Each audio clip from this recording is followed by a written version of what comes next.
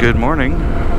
So I'm going to do this as a separate video. This isn't going to be part of my TAT trip stuff.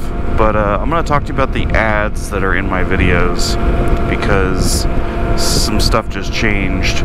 About six months ago, YouTube changed a bunch of its advertising policies. The biggest thing that it did at the time was it started going after ad blockers, apps that block basically in video ads and pre and post video ads.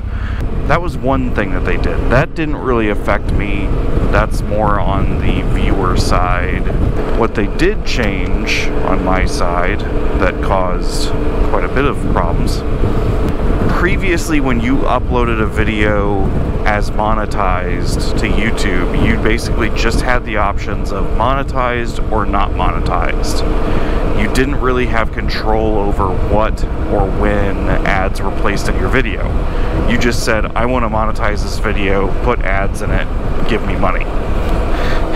And around that same time, YouTube changed that to where you could now choose when you monetize the video whether or not there were in video ads. At the time, I believe they also changed the algorithm for when these ads were placed.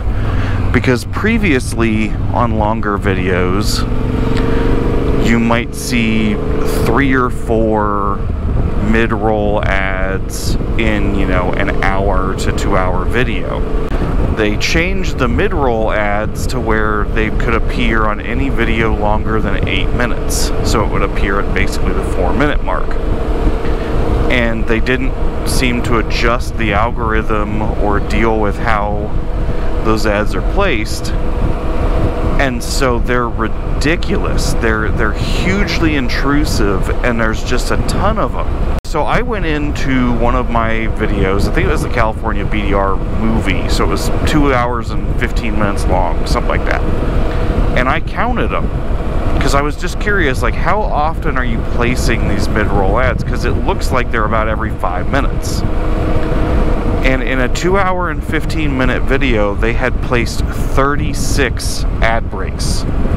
36 ad breaks in two hours and 15 minutes. That's insane. You know, on a TV show, you get about every 15 minutes, you get a three to five minute ad break.